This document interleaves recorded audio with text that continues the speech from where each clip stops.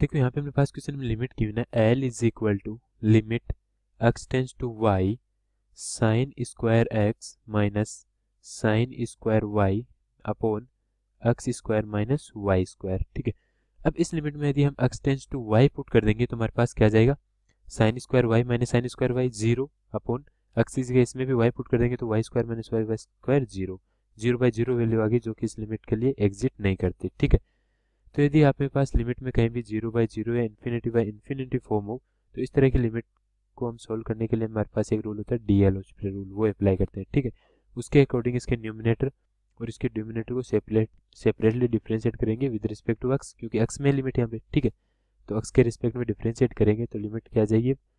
Limit X tends to Y sine square X X के respect में क्या हो जाएगा? टू साइन एक्स और साइन एक्स का डिफ्रेंशिएट कोस एक्स एक्स के रिस्पेक्ट में वाई ये तो ज़ीरो है यहाँ पे, ठीक है? क्योंकि वाई कॉन्स्टेंट है एक्स के रिस्पेक्ट में कर रहे हैं ठीक है? और एक्स स्क्वायर इसका क्या हो जाएगा? टू एक्स ठीक है? टू से टू कैंसिल आउट हो गया, और ये क्या आ जाएगा? Sine X sine X cos X upon X इसमें X tends to Y put कर देंगे हमारे पास तो क्या आ जाएगा? Is equal to X tends to Y put करेंगे तो sine Y into cos Y divided by Y ठीक है? तो इस फॉर्म में हमारे पास लिमिट नहीं है तो हम क्या करेंगे? इसको यदि टू से ऊपर नीचे मल्टीप्लाई कर देंगे तो two sine Y cos Y तो क्या बन जाएगा? साइन टू वाई का फॉर्मूला है, ठीक है? अपॉन टू वाई तो ये इस लिमिट की वैल्यू आ जाएगी sine two Y upon two Y यानी कि फोर्थ ऑप्शन इज़ करेक्ट ठीक है? इजी